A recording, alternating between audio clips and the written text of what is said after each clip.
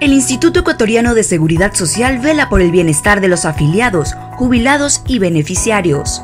Garantiza servicios de calidad y con calidez. A continuación presentamos lo más destacado de la semana. Jorge Watted, presidente del Consejo Directivo del IES, junto al director nacional del Seguro Social Campesino, Juan Sebastián Romero, constataron la entrega de insumos de bioseguridad a dispensarios de la parroquia Roberto Estudillo, en Milagro Guayas, y para el resto de provincias que conforman la zona 5 de este seguro especializado, Bolívar, Galápagos, Los Ríos y Santa Elena.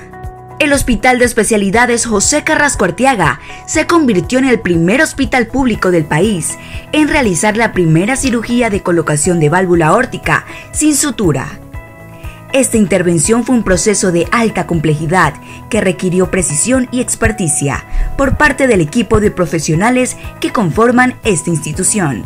Denise Chávez, directora nacional de comunicación social, en representación del presidente Watted, junto a autoridades provinciales del IES, inauguraron un punto de atención en baños, del que se beneficiarán cerca de 65 mil habitantes de esta ciudad, Pelileo y Patate.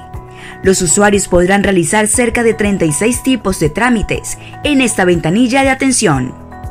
En Azogues, el Hospital del Día y el Centro de Rehabilitación Integral Especializado sobrepasaron las 153.000 atenciones médicas.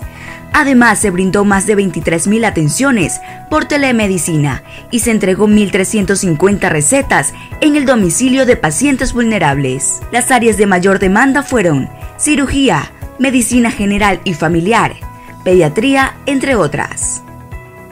Estamos comprometidos por una gestión honesta, transparente y eficiente.